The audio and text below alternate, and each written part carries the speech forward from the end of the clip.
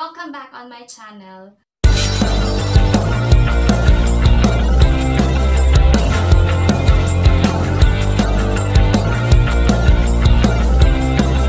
Today, what I'm going to share to you is how to do a DIY ring light. Mm, I actually have an idea before because I'm looking around on how much is the ring light right now. Very expensive. So I, I don't have any any budget for the ring light.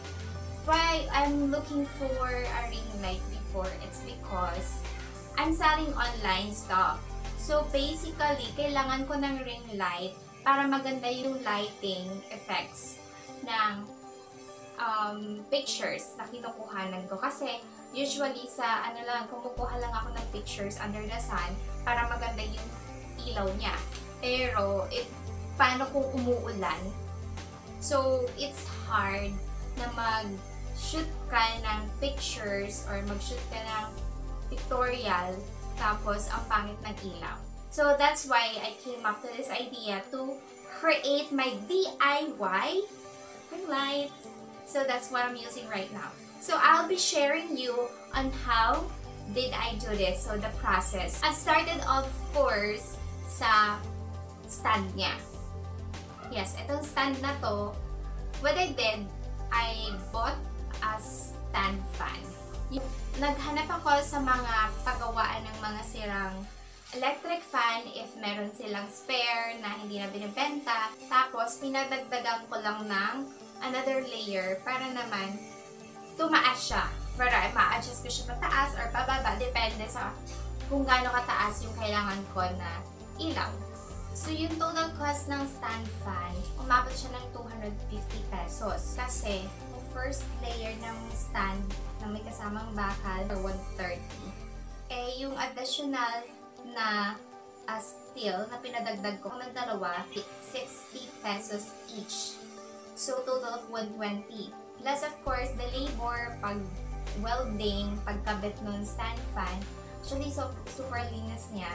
So, it cost me 250 pesos for the stand fan itself. Then, I bought a bulb. It's a Firefly ring bulb. So, it cost me like 285 pesos. So, it's like 535 na. And then, an additional of wire. Yung wire naman, 2 meters lang yung kinuha ko kasi sabi ko pwede naman gamitan na extension wire. So, the per meter would be 25 pesos, total of 50 pesos for the 2 meters. So, that is uh, 50 pesos plus the socket. The socket is 25 pesos, yung lagayan ng bulb. So, 75 plus yung plug, 20 pesos. So, total of 95 pesos. Total of 630 pesos meron na akong DIY lang. And this is the process kung paano ko siya ginawa. And titingnan natin if gagana ba siya o hindi. So, watch this. So, eto yung mga kailangan. This electric fan stand. So, what I did, pina-customize ko siya. Nagasa ko dun sa nagre-repair if ever nadagdagan to ng another layer. Ito. So, para mas mahahaba siya. So, look. So, ayan. So, bale, the stand fan itself, this one, hanggang dito siya. Then, I let the old man add two more layers. So, bali, tatlong layers na yung ginawa niya. So, matangkad pa siya sa akin. Ayan siya. Ayan, pero at least we can adjust the light if you would like to make it higher or you would like to lower it. Yan, pwede siya. And then, wire. Um, hindi ko siya estimated, pero I just got this wire. This is just 2 meters long. Pero I can still add it up naman if I want to. And then, of course, socket. Ito, socket ng um, ilaw. Then, after that, syempre, kinabit ko, diniskartehan ko na lang kung paano ko siya ikakabit. So, yan, nakabit ko na yung wire sa socket. Hindi po kasi siya, hindi siya yung isahan lang. Ginawa ko wire, this wire and then this socket para maipasok ko siya dito. Ko kasi naka-fix siya. So, ganyan. Of course, yung plug. Ito, plug. Kailangan natin ng plug. So, hindi ko pa siya nakakabit. Later, ipapakita ko sa inyo. Ilaw. Um, this is Firefly. I don't know how many watts. This is 32 watts. 32 watts. Ayan, 32 watts siya. So, you can buy this for any hardware store naman. Ayun. So, this is the ring light that I'm going to use. And then, electrical tape, of course, pang dikit, gunting, at saka syempre yung screwdriver. Ikakabit ko na itong uh, plug na to. Ngayon, ang gagawin ko naman, this one, ikakabit ko dito sa plug. Itong wire. So, start up. Wala, actually, wala naman ako, ako background sa electrical. Siguro, nakasanayan ko na lang din gawin. Kasi kahit sa bahay, pag gusto ko gumawa ng mga um, ilaw sa labas, this is what I'm doing. So, medyo may alam lang. But I'm not really good at it. So, yun. Babalatan mo muna. Pag nabalatan mo na, paikutin mo yung wires, yung maliliit na wires. Yan. So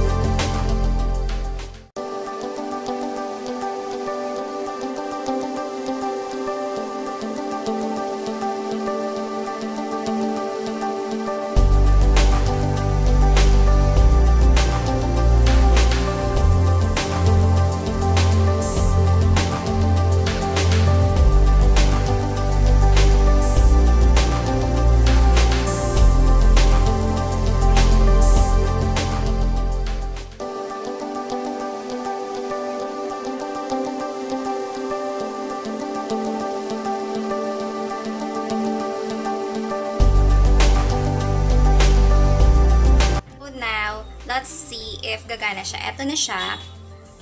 I'm excited to plug. Ayan sa likod yung ring light natin. So, makikita natin if iilaw siya o hindi. Sana umilaw, gosh. Ready?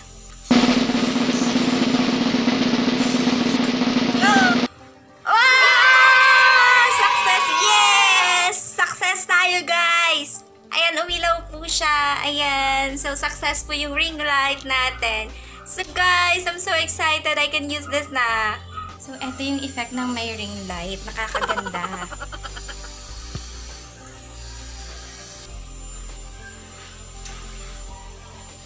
So, eto guys. So, proven and tested na okay siya. So, pwede siyang gawin. DIY, thumbs up.